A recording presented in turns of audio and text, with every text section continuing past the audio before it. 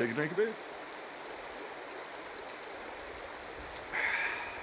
ExtremePods.com, baby, in the house. What's, What's up, up? everybody? Yeah, buddy. We're hanging out at the cabin in the winter, Yes, indeed. Absolutely. drinking Coors, Having a Coors this evening. from, uh, sure. 100% Rocky Mountain water. Rocky Mountain Water. There's the Rocky Mountain water right Yeah. there. It, right notice it doesn't say spring water anymore. Because now it could be river Yeah, I water. know. Anyway, Pretty good beer.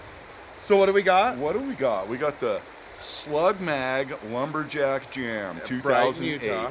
Yeah. We've, It was we're good. It was lucky nice. enough to finally get a sunny day. Yes, indeed. Bluebird Day for this one. So check this stuff out. Right on.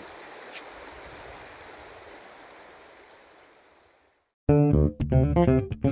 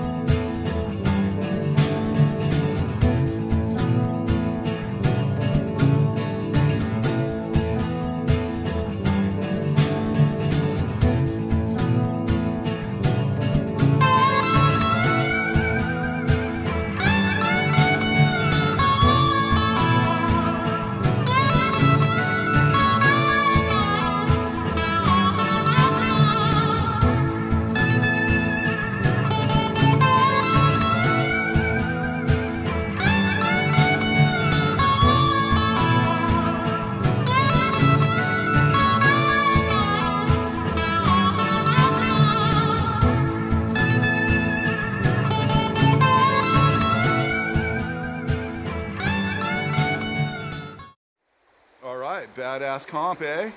Awesome. All right. So uh, check us out on iTunes, ExtremePods. Please. Absolutely. Give us a review on iTunes. Give That'd us a sweet. review. Yeah, we need more reviews on iTunes. So yeah, tell us what you think. and go out and ride. Absolutely. Go huck yourself. Have a good one. Shred the gnar.